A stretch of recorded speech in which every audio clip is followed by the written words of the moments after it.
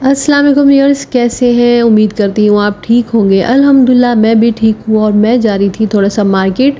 वहाँ से मैंने चौदह अगस्त के लिए कुछ बाय करना था और चौदह अगस्त के लिए कपड़ों पे बच्चों ने लगवाने थे टसल्स। उसका तरीका जो है, वो मैं आपको दिखाऊँगी। ये मार्केट जाने से पहले मैं गाँव गई थी। यहाँ पे जो वर्कर्स हैं, वो लगाती हैं टसल्स, वो मैं आपको इंशाल्लाह आज आपके साथ शेयर करूँगी। आप में से जो भी टसल्स बनाना चाहता है खुद बना सकते हैं, मैं अब इसकी पूरी वीडियो बनाऊँगी। और आपकी तैयारियाँ कैसी जा रही हैं? आई होप सो कि आपकी चौदह अगस्त की तैयारियाँ ज़ोरों शोर पे होंगी, क्योंकि बड़े तो गुजारा कर ही लेते हैं। यानी कि यही होता है, बस छुट्टी मिल गई है, घर में बैठे हैं। बट बच्चे जो हैं ना, वो बहुत तंग करते हैं। उनकी डिमांड्स होती हैं, उनके लिए कपड़े बाय करें मैचिंग का सब कुछ हो, फिर जाके चौदह अगस्त वो सेलिब्रेट करेंगे। और मेरे ख्याल से बहुत हद तक बच्चे ठीक भी हैं। चले जी, आपको रास्ते का सफ़र बहुत दिखा दिया। अब जी, हम अपनी मंजिल पे पहुँच चुके हैं। यहाँ पे आके जो मेरी वर्कर्स हैं, ये ऑल ओवर काम करती हैं मतलब मिरर वर्क करती है एम्ब्रॉयडरी सारे काम वो करना जानती हैं। तो सबसे पहले ने, उन्होंने ये जो है ना ऊन का गोला जिसे मतलब धागा कहते हैं, ये ले लिया। अब ये इसी तरह इसमें से निकाल के ना ये इकट्ठा कर रही है। मतलब यूँ समझे, मैं आपको एग्जांपल दूँ कि समझे ट्वेल्व सेंटीमीटर ट्वेल्व तकरीबन इतने ही है, यानी ट्वेल्व ही था। तो इसकी ना ये जो धागे की लाइनें हैं, तकरीबन बारह से अठारह वो कह रही थी निकालने। निकालने के बाद एक सिरे को पकड़ के ना उसको ऐसे मोड़ लिया है। अब यहाँ से वो गिरा लगाएगी दो तीन मरतबा। बहुत आसान है। अगर आप थोड़ा सा गौर करें, आपको समझ आ जाएगी। ये देखिए, पहले पूरे धागे को ना उसको डबल कर लिया, यानी डबल से मुराद। तकरीबन दस बार उसको इस तरह ना मोटा सा कर लिया है। फिर उसकी टसल्स के साइज़ जितना उठा के ना ऊपर से बाँध दिया है। मुझे तो अच्छे से समझ आ रही थी बिकॉज़ मेरे सामने बना रही थी। अब मैं ये फ्लैग पे, यानी कि फ़्लैग कह रही हूँ, जो चौदह अगस्त के बच्चों के कपड़े हैं, उस पर बच्चों ने लगवानी है। तो ग्रीन कलर की मैं लगाऊँगी। ये देखो कितनी नफीस एंड नीट एंड मिनटों में बनने वाली टसल्स रेडी हो चुकी हैं। ये फिर दोबारा वही एक धागा एक्स्ट्रा ले रही है। ऊपर से बांधेगी। यानी बहुत आसान है। मुझे लगता था ये बहुत मुश्किल है और बहुत आसान वे में बताया है। तो बस ये फिर से दूसरी बन गई है। अच्छा मैं आपको आज मिरर लगाना भी बताऊँगी कि किस तरह से मिरर लगाते हैं और जो गोटे वाला जो मिरर है रिंग पे चढ़ाते हैं, वो भी मैं आपको बताऊँगी। बाय चांस ये लोग ये काम कर रही थी तो मैंने कहा, चलें, मेरे व्यूअर्स भी कोई फ़ायदा उठा लें। अच्छा ये देखिए, ऊपर से मोड़ती भी है, जब काटने से पहले ना, पहले यानी थोड़ा सा थ्रेड लेके ना, पहले मोड़ लेती है। फिर इसी तरह फिंगर के नीचे थम के नीचे रख के ना, जैसे ज़ोर से ग्रिप पकड़ा हुआ है, फिर उधर से काट लेगी अभी ना, ये जो एक्स्ट्रा है, ये इस तरह गोल घुमा के, ताकि ये इस तरह ये गोल गोल सी नज़र आए। अभी मैं आपको दिखाऊँगी, दो तीन उसने मुझे ये बना के दिखाई थी। माशाल्लाह बहुत हैंड वर्क ये प्यारा करती है।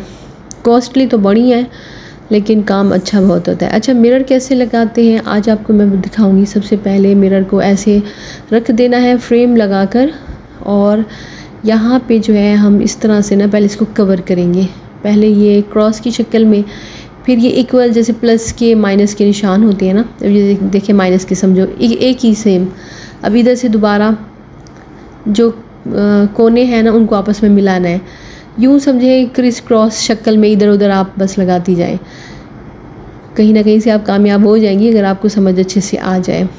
अच्छा जी, ये साइडों से भी लगा रही है। वैसे आपको मज़े की बात बताऊँ मिरर जो है वर्क मुझे भी आता है। मैंने बचपन में सीखा था और मैं आज तक भूली नहीं हूँ। बेशक मैं लगाती नहीं हूँ। कभी कभी दिल चाहता है, पर यकीन करें टाइम तो है ही नहीं। बस कहाँ से टाइम लाएँ? तो इस तरह से ना ये कवर कर रही है। कवर करने के बाद ना ये शीशा जो है ना, इसकी अब देखिए बाउंड्री बनना शुरू हो रही है। अब ये एक ही साइड में घुमाती जाएगी और ये जी बनता जाएगा। ये देखिए, ये सुई को इसमें से अंदर एक स्टेप ऊपर से करती है मिरर के ऊपर से एक स्टेप कपड़े के नीचे से लेती है। फिर ऊपर आ जाती है, फिर मिरर के ऊपर से, फिर वही दोबारा कपड़े की तरफ़ से लेगी टांका। तो बहुत आसान है वैसे मिरर लगाना, कोई मुश्किल नहीं है। इन लोगों का तो काम है ना, मैं जब लोग, ये लोग, हम छोटे होते थे ना, आते थे इनके पास तो ये लगा रही होती थी तो देख के ही बस मुझे समझ आ गई, इसलिए मुझे आता है, सामने से ज़्यादा समझ आती है। आई होप कि आपको यहाँ से लगाने के भी अच्छे से समझ आ जाए। ये थोड़ा सा रह गया था और ये मिरर रेडी हो चुका है। देखिए, कितना खूबसूरत लग रहा है। और ये फ़ाइव रुपीज़ रुपीज़ नहीं फाइव वाला जो कोइन होता है ना, ये इतना माशाल्लाह से बड़ा था। छोटा लगाना थोड़ा आसान होता है, ये थोड़ा बड़ा था। अच्छा रिंग वाला भी ये तरीका जो है वो लगानी थी तो मैंने कहा आपके साथ शेयर करूँगी जो इसको धनक कहते हैं, धनक नहीं कहते, इसको बस ऐसे ही सादी सी गोटा कहते हैं, गोटा किनारी में ना, धनक और होती है। तो इसको बस ये ना, एक तरफ़ से पकड़ के ना, इसी तरह घुमाती गई है। घुमाने के बाद देखिए कैसे ये इसकी लुक आती है। बस नीचे से मिरर रखा। ये देखिए मैं आपको नज़दीक से जूम करके दिखाती हूँ ताकि आपको समझ भी आए। टाइट है, अलबत्त ये जो काम कर रही है ना। ये देखिए, ये करारी जो है गोटा, इसको उठाती है। फिर ये अंदर की तरफ़ फोल्ड करते हुए ना, और टाइट बिल्कुल लूज़ करेंगे तो अच्छा भी नहीं लगेगा। और ये इसी तरह थोड़ा तिरछा कर रही है। मैं आपको इसलिए पूरी वीडियो दिखा रही हूँ कि चले आपका कोई फ़ायदा तो हो, ये ना हो कि आप कहें बस वीडियो में ये बनाना बताया और हमें समझ नहीं आई। बिल्कुल करीब से मैं वीडियो शूट कर रही हूँ कि अच्छे से समझा और माशाल्लाह इनके हाथों में ना जादू है। जो भी वर्क करती है ना, हैरान कन है। इसी तरह ये लोग बनाते हैं बहुत ही खूबसूरत टसल्स जो इतने फैंसी ड्रेसेस पे बनते हैं, उनके लिए लगाए जाते हैं। हम लोग की बुटीक है ना तो उसमें हम लोग बहुत यूज़ करते हैं। अभी फ़िलहाल मेरे पास कोई ड्रेस था नहीं, क्योंकि ऑर्डर पे काम करते हैं ना तो पिक तो है वैसे। अगर मुझे टाइम मिला तो मैं ज़रूर वो भी आपके साथ शेयर करूँगी। टाइम तो मिलता ही नहीं है, घर के काम व्लॉगिंग और सारा कुछ बच्चों को देखना बिल्कुल टाइम नहीं मिलता। मैं बहुत मुश्किल से मार्केट जाती हूँ। आज इधर गई हुई थी तो फिर मैंने सोचा, क्यों ना मैं ये जल्दी से सारी वीडियो शूट कर दूँ ताकि आप लोग का भी फ़ायदा हो जाए। कहीं अर्जेंट हो तो लड़कियाँ ये इस तरह की चीज़ें आसानी से बना सकती हैं। माशाल्लाह से ये रेडी हो चुका है। अब ये देखिए, नीचे से आपने मिरर को रख देना है। वही थोड़ा सा जो बचा था, इसके साथ ये अच्छा सा कटिंग करके ना ये कवर कर देगी सुई से। मतलब ये इसको अच्छा सा चिपक जाए। अब ये रेडी हो चुका है किसी भी ड्रेस पे लगाने के लिए। मतलब अगर हमारे पास टाइम नहीं है और हम चाह रहे हैं कब अपने ड्रेस को और ज़्यादा प्रोमिनेंट हो, खूबसूरत बन जाए और आप बाहर भी नहीं जा सकते खुद ही ये चीज़ें बाय करें और उम्मीद करती हूँ कि शीशा जो अभी मिरर वर्क था वो लगाने से ये ज़्यादा आसान है। क्योंकि इसमें बस रिंग को आपने वो चढ़ा देना है गोटे का जो है और उसके बाद आपने जस्ट कपड़ों पे लगा देना। इतना खूबसूरत लग रहा था ना आपकी सोच होगी।